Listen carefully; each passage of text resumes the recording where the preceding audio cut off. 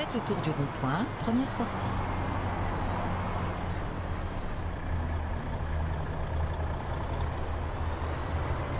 Prenez la sortie.